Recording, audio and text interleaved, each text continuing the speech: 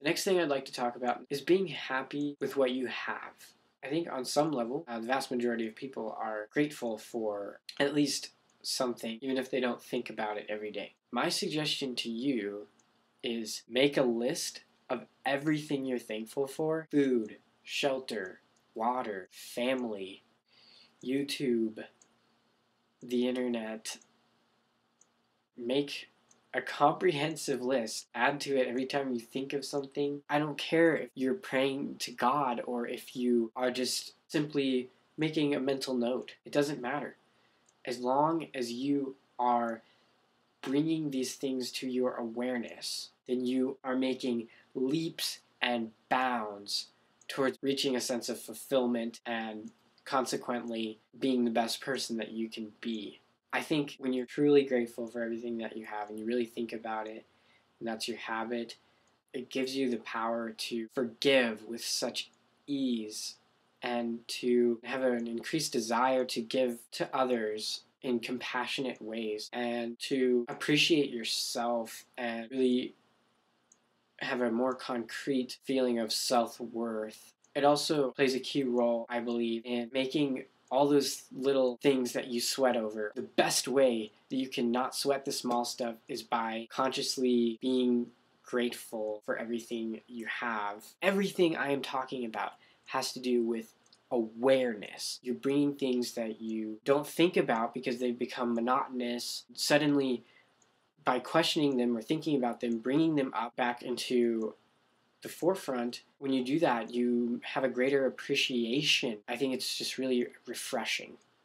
You need to find a balance between questioning yourself and creating self doubt. I've had some really bad experiences with this where I questioned too hard. I didn't have something that was really giving me a stable sense of self worth.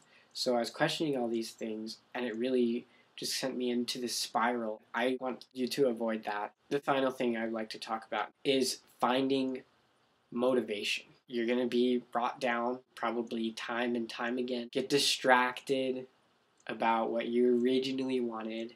This relates to experiences that people have when they set goals. They get distracted. They decide that they didn't actually want that anymore. They talk themselves out of it which is why when you first set the goal, you make sure that it's something that deep down you really want. And my advice to you is eyes on the prize, baby. Eyes on the prize. You're gonna often get caught up thinking about those bad things that people said to you when you were pursuing your goal. Oh, maybe this just isn't right for me because I failed so many times. Nope.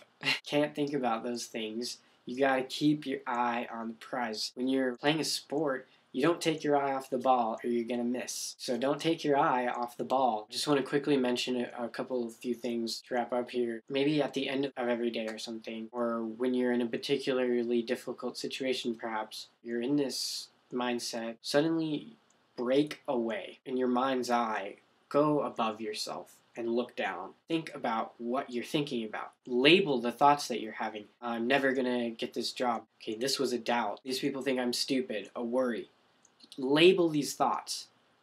And suddenly, more and more, you're going to realize that you have complete control over these thoughts. And you don't have to have them. You can have whichever thoughts you want. Last thing, don't put too much pressure on yourself.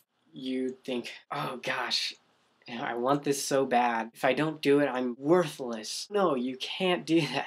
You can't put that kind of pressure on yourself. It's going to be that much harder when you know that that's what the stakes are. You'll be preoccupied with the stress. So you gotta find some other reason to believe that you are worth it. And let me tell you something, you are worth it.